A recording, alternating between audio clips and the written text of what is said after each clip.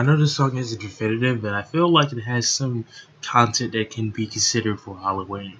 You know, some of the major things of what we think Halloween is today in our modern day is, you know, disturbing or scary or scary movies and guts, gore, basically anything that has to do with um, what scares us, fears, stuff like that. So most people are going to be watching ha- Halloween movies, scary movies, playing scary video games. I know I will be.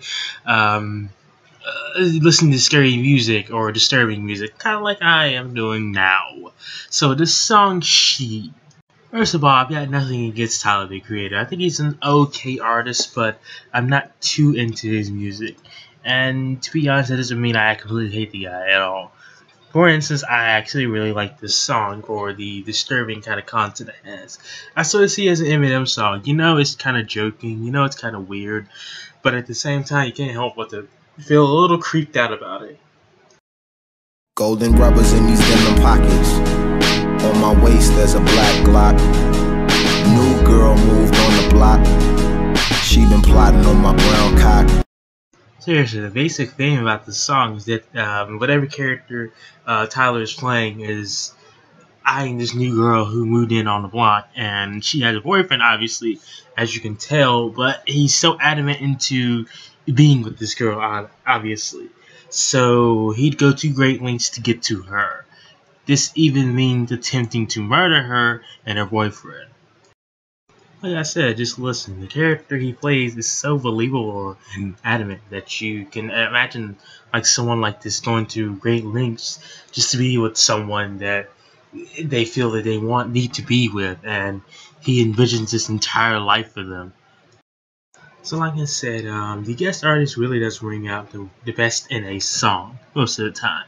So what we have here is the hook done by none other than Frank Ocean wide open so he can see. see, like I said, it's so believable. Like you just just someone outside of your window watching you as you sleep, and it, it could be during the night or like in the video, it's kind of like during the day, like afternoon. Like you're resting from work, and there's just this guy creepily lingering over you and just watching you sleep. That's disturbing.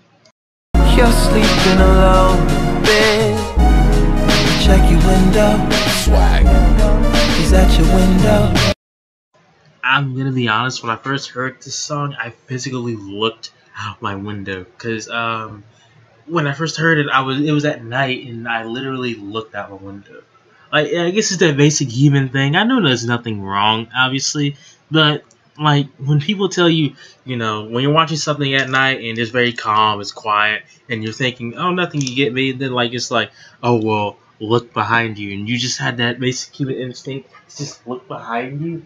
It's really a disturbing thing. When I'm with my friends, I just put on the front, but in the back of my top, I'm writing songs about we. We is including I and yourself. Make. See, what did I tell him? Has the whole life planned out for them by himself and her just basically being his child maker.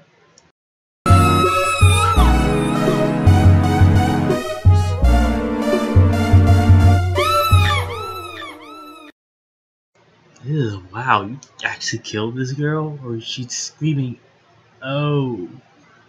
Oh, she's screaming because, damn. Okay, I get it. Sorry.